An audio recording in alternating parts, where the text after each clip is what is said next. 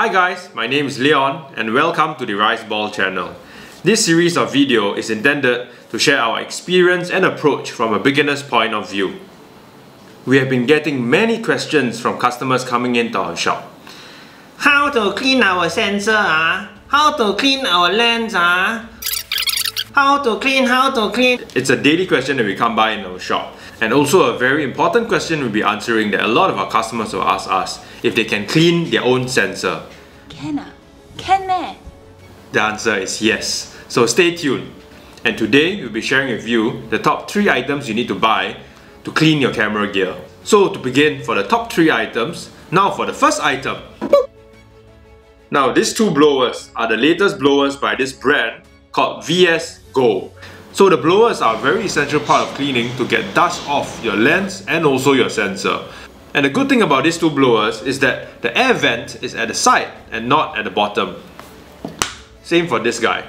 So that doesn't allow dust particles to enter from the bottom and come out when you are cleaning the sensor or cleaning the lens. Furthermore, there's an air filter in between the nozzle and the blower as you can see here. So this will not allow dust to enter the blower which will actually have the dust exit through the nozzle. It's good to get a very powerful blower like this to really push off the dust from inside the sensor or on the lens element. Now for the second item. Boop. So now these are items from Hakuba for cleaning your lens. So this guy is actually a lens cleaning solution with a microfiber cloth. And this is actually chamois skin. Chamois skin is like a piece of leather, a very fine piece of leather. And leather, like all of us know, is a very good absorber of oil. So now we'll be showing you how to clean your lens. So before you start any cleaning, always use the air blower to blow off the dust particles from the front element of the lens. Now the next step, to use the Hakuba solution which is alcohol free. Give one spray of the solution on the microfiber cloth and give the front element of your lens a very good wipe. This will take away the very tough stains and watermarks from the front element or from your filter. Now the last step is to use the chamois skin. So the very common issue that we have is that we are getting oil smudges on the front element of the lens caused by our fingerprints. So a very good way to take away the oil smudges is actually to use the chamois skin as the chamois skin is a very good absorber of oil. Just one or two wipes and you will see that the smudges are all gone. If you have not used the chamois skin before, do hit the like button at the bottom of the screen. Now for the third item, bang!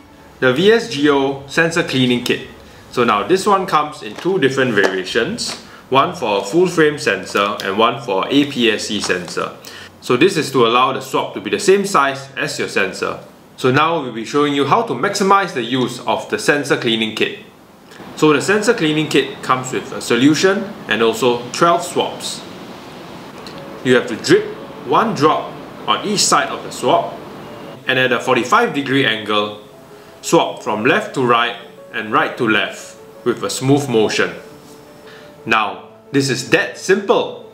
And this is what we have to share with you today. The top 3 things to purchase to clean your camera gear. Firstly, the VSGO Air Blower.